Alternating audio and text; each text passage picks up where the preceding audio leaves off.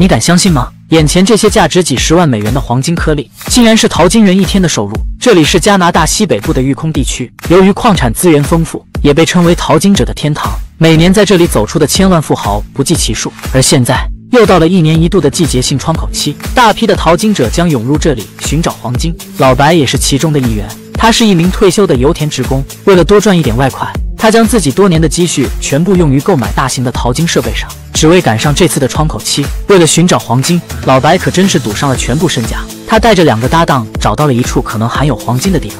经过一上午的准备，终于开始了洗矿模式。老白用挖掘机将泥土放在洗矿机里面，高压水枪会把金沙从矿石和泥土里冲刷下来，最后经过筛选过滤，就可以得到原始的黄金颗粒了。但事情并没有想象的那么简单。由于高强度的工作，挖掘机很快就出现了故障。但好在老白的搭档龟田是蓝翔技校毕业的高级技工，非常擅长机械的保养与维修，三下五除二就排除了故障。老白操控着机械手臂再次火力全开，他必须要在三个月内赚回二百万美元，才能够收回成本。可越是着急，大自然就越不会乖乖的交出黄金。关键时刻，采矿机却突然停水了，这也就意味着他们必须停止工作，全力排查故障。就在老白还在为停工发愁时，龟田骑上小摩托就直奔抽水车去了。果然，什么故障都逃不过他的眼睛。经过检查后，发现抽水车的离合器坏了，但问题在于离合器的部分零件被焊接在了轴承上面，想要将它们更换下来，需要花费大量的时间。没办法，老白只能先把今天收集到的金泥带到镇上去淘洗。这可是一个既费时又费力的工作。淘洗人需要先将金沙和其他矿物质分离出来，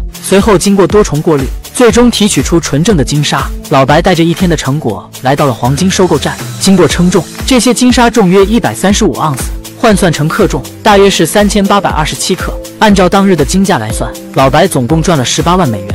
这还仅仅是一天的收入。如果洗矿机没坏的话，当天收入可能会达到二十万以上。不过这对老白来说也算是一个非常好的开头了。